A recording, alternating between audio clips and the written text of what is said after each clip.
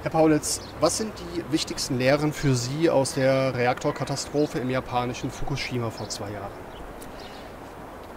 Die wichtigste Erkenntnis ist im Grunde, dass Japan großflächig betroffen ist von den Auswirkungen der Atomkatastrophe.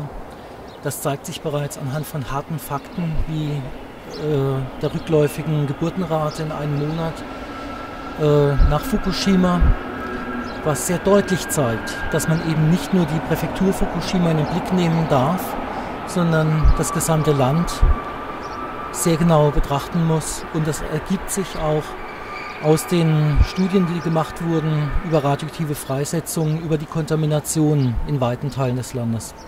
Inwieweit, Herr Paulitz, lassen sich denn die Reaktorunfälle in Tschernobyl 1986 und in Fukushima vor zwei Jahren überhaupt vergleichen?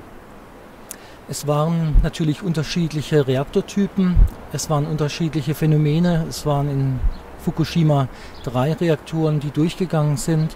Und es ist sogar zu befürchten, dass es in einem der Blöcke im Abklingbecken zu einer Nuklearexplosion kam, dies allerdings auch in Tschernobyl von den Auswirkungen gibt es in den ersten zwei Jahren zum Teil erstaunliche Parallelen mit den Auswirkungen in Tschernobyl. In beiden Fällen ein Supergau der Innesstufe 7.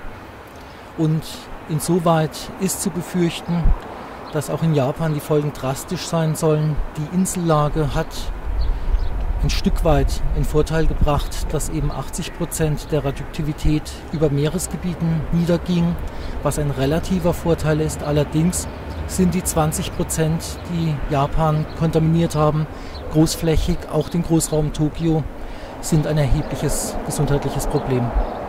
Dennoch gab es ja um Fukushima weit weniger Debatten, mediale Debatten als im Fall von Tschernobyl, äh, um die Folgen der Katastrophe selber, aber auch über die Informationspolitik der Verantwortlichen. Äh, worauf führen Sie das zurück? Das ist schwer zu sagen. Unseres Erachtens hat die Katastrophe in Fukushima schon durchschlagende weltweite Auswirkungen auf die weitere Atompolitik. Der Sofortausstieg aus acht Atomkraftwerksblöcken beispielsweise in Deutschland, der im Moment stehende Ausstiegsbeschluss, gesetzlich stehende Beschluss, aus dieser Technologie auszusteigen, die Aufgabe, die Preisgabe von Atomprojekten in vielen Ländern, dürfte den Wechsel insgesamt deutlich beschleunigen weg von der Atomtechnologie, weg von konventionellen Großkraftwerken und hin zu einer demokratisierten Energiewirtschaft weltweit mit erneuerbaren Energien in der Hand von Bürgern und nicht von Konzernen. Und dies dürfte weltweit unter Umständen zu Demokratisierungsprozessen ganz anderer Art laufen, dass es nämlich den Zentralregierungen zunehmend schwerer fallen wird, die wiederum sehr stark Konzerninteressen, von Konzerninteressen geleitete Politik praktizieren, wird die Politik zurückverlagert zum Volk sozusagen, was erhebliche Demokratisierungsprozesse nach sich ziehen könnte. Nun zum zweiten Jahrestag dieser Katastrophe in Fukushima hat die Weltgesundheitsorganisation, die WHO, einen Bericht veröffentlicht, Dort heißt es, dass die Strahlenbelastung äh, in und um Fukushima in Japan relativ gering sei. Ähm, wie bewerten Sie das? Interessant ist im Grunde, dass die Weltgesundheitsorganisation inzwischen anerkennt ausdrücklich, also den wissenschaftlichen Stand akzeptiert nach vielen Jahren, dass es keine Schwellendosis gibt ähm, bei möglicherweise zu, bei zu erwartenden Krebsfällen. Und die WHO rechnet nicht aber sie publiziert Daten, an denen Zweifel bestehen, aber sie sagt im Grunde, es gibt, es sind Krebserkrankungen zu erwarten, nur werden sie nicht kalkuliert. Das ist im Grunde der springende Punkt. Die entscheidende Aussage, die zentrale Erkenntnis ist, dass äh, in Japan mit vielen Krebserkrankungen gerechnet werden muss. Wenn wir über die WHO sprechen, dann müssen wir auch über ein Abkommen mit der Internationalen Atomenergiebehörde reden von 1959 zwischen der WHO und der IAEA. E Dort wird die Bewertung von Atomenergie und auch von Unfällen der Internationalen Atomenergiebehörde überlassen, mehr oder weniger. Inwiefern kann die Weltgesundheitsorganisation denn überhaupt eigene Berichte, autonome Berichte schreiben?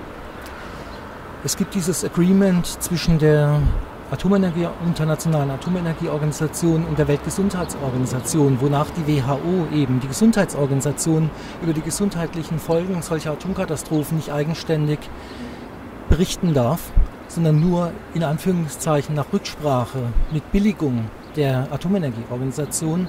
Und dies zeigt sich auch in diesem aktuellen Bericht über die Folgen von Fukushima sehr deutlich.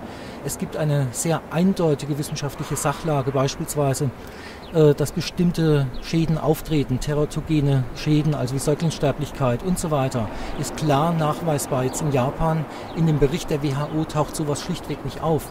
Das ist im Grunde wissenschaftlicher Unfug. Und was kann eine Organisation wie die EPPNW in dieser Situation ausrichten?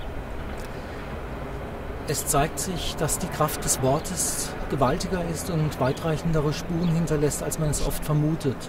Es haben sehr viele Effekte in den vergangenen Jahrzehnten gezeigt, dass die atomkritische und sonstige politische Arbeit sich dann doch auf Dauer niederschlägt in etablierten Kreisen und Auswirkungen hat auf Entscheidungen in der Politik und in Konzernzentralen. Es ist ein langes Ringen, ein ewiges Ringen sozusagen zwischen den Interessen der Bevölkerung auf der einen Seite in einer Politik, die, wie auch der japanische Minister, Ex-Ministerpräsident Khan gerade wieder gesagt hat, dem enormen Einfluss dieser Großkonzerne auf die Politik, die eben nicht frei ist, so zu handeln, wie es eigentlich sie selbst vielleicht für vernünftig erachten würde.